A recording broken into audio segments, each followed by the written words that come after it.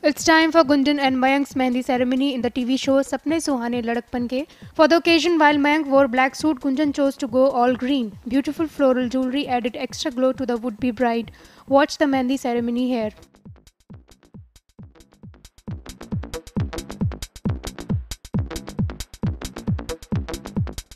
Bollywood Country Report.